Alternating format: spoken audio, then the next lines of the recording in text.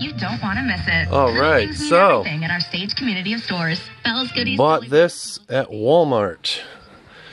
I wasn't going to, but because the speakers light up, I was like, oh, okay, I gotta have a stereo that does that. So it was uh when these first came out, it was uh, I believe additionally it was uh, one hundred dollars. Then it went down to seventy eight, which I thought that's what the price was. I get there, it's fifty eight dollars. So fucking a, I'm down with that. Fifty eight dollars now. It's not. It sounds really good. Pick up a Scott's Turf Builder program today. You may tell yourself that watching the Um, I have not yet tried any of the functions yet. So let me find my old phone. I can try and link Bluetooth up to it. I'll play a CD and see if that works. I wonder if it's actually um, rewritable compatible. It should be. Today's standards, people always use like rewritable discs, discs, and I actually got a disc on me. So let's see. Uh, I'm just trying to think of how to switch modes. This must be it. Here we go. aux CD. Okay. Let's open it up. Let's see if it reads rewritables.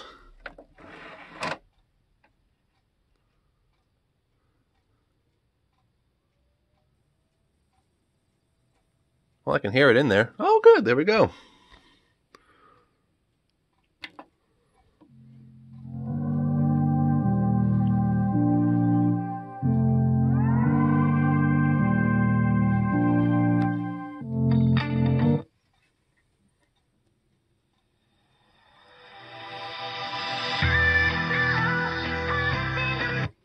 I really can't do much uh, music now because I think YouTube has cut their stuff shorter. It used to be like 20 seconds. Now I think they're down to 11 seconds before it receives a copyright strike. Convict, convict, convict.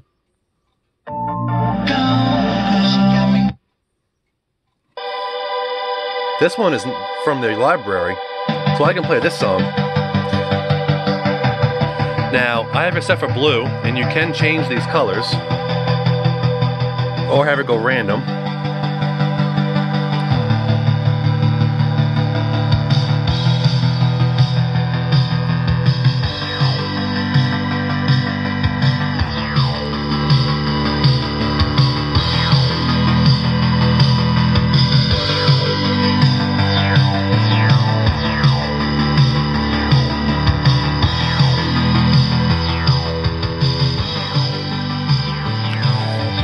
Do the change the colors, you have to hold down the equalizer button.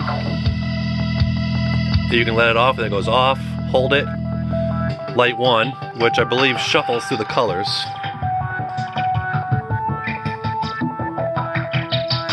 Yep, there it goes.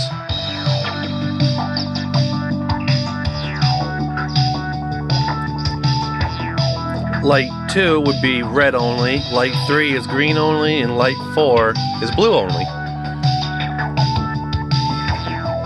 Now, I heard a couple reviews on this, poor reviews about the C player being lousy, like it skips by itself. And people have tried several CDs and it does the same effect, so it's probably a manufacturing flaw or something. It's happened to more than one stereo.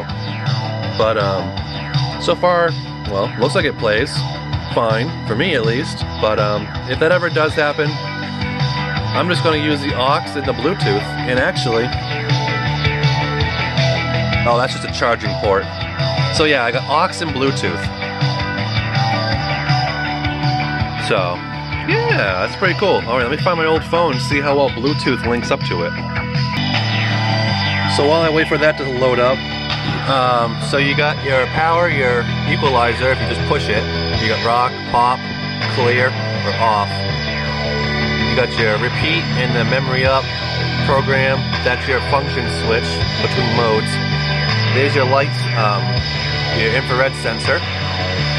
Line in, charging port, and your basic CD controls on top. And here's the box.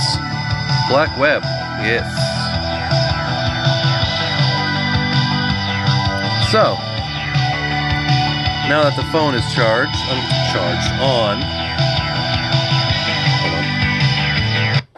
Stop that. Let's change mode to. Bluetooth. Pairing.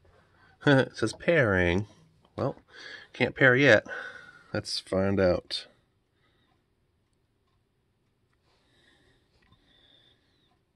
Search for devices. Should show up on the bottom.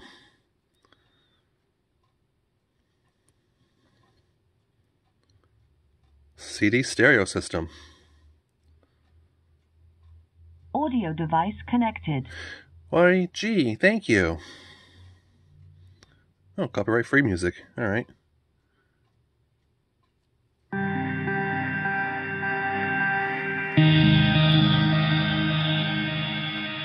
Yep, I say it does sound good.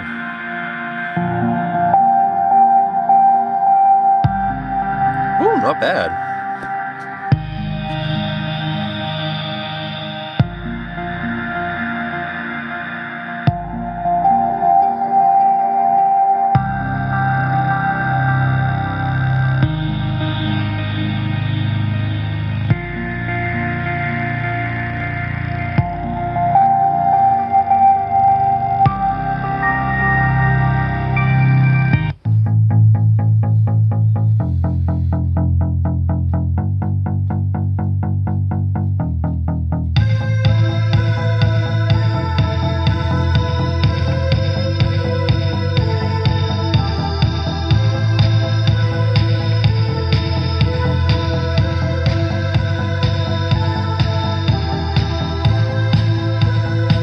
Yeah, I already like this little stereo.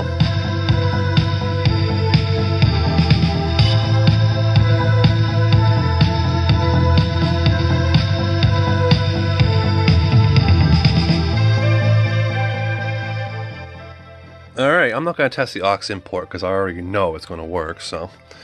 Alright, well, that is the Blackweb 100 watt Bluetooth stereo system. Awesome. Later.